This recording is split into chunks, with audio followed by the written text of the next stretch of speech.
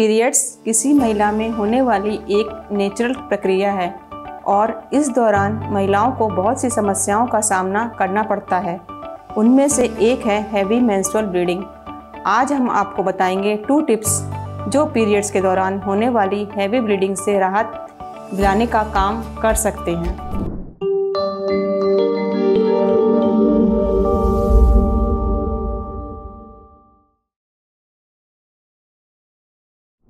सामान्यतः किसी महिला का मेंस्ट्रुअल साइकिल चार से पाँच दिन का होता है, जिसमें 30 से 40 मिलीलीटर ब्लड लॉस होता है। लेकिन अगर ये ब्लड लॉस 80 मिलीलीटर से ज़्यादा हो रहा है तो इसे हैवी ब्लीडिंग कंसीडर किया जाता है, जिसे मेडिकल लैंग्वेज में मेनोरेजिया कहते हैं। एनसीबीआई के अनुसार मेनोरेजिया सामान्य गतिविधियों को सीमित करता है और दो तिहाई महिलाओं में एनीमिया का कारण बनता है।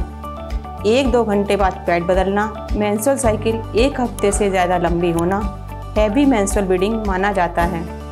मैनोरेजिया में hormonal imbalance ovarian dysfunction uterine fibroids adenomyosis cancer PID प्रमुख कारणों के रूप में देखे जाते हैं।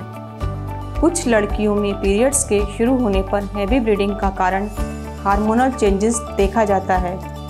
अधिक उम्र की महिलाओं में मीनोपॉज के दौरान हार्मोन असंतुलन से हैवी ब्लीडिंग हो सकती है।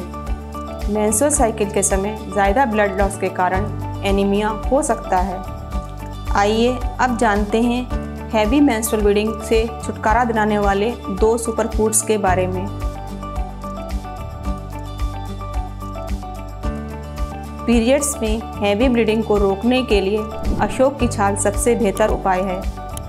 इसे इस्तेमाल करने के लिए लगभग 50 ग्राम अशोक की छाल को दो कप पानी में तब तक उबालें जब तक कि ये आधा ना रह जाए।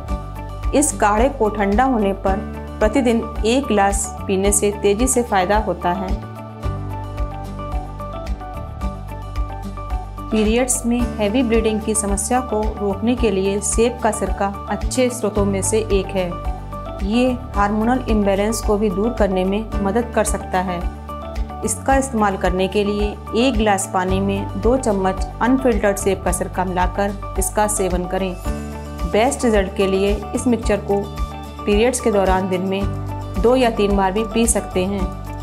पीरियड्स में हैवी ब्लीडिंग का मुख्य कारण मैग्नीशियम और विटामिन सी की कमी भी है। तरबूज के बीज, जई, कद्दू, मैग्नीशियम युक्त अन्य फूड्स को अपनी डाइट में शामिल करें। विटामिन सी से भरपूर भोजन जैसे संतरा, टमाटर, स्ट्रॉबेरी, ब्रोकली आदि आयरन को सोखने में मदद करते हैं और रक्त स्राव के दौरान आयरन की कमी को पूरा करते हैं। अगर आपको इन उपायों को अपनाने से लाभ मिले तो हमें कमेंट बॉक्स में ज़रूर बताएँ।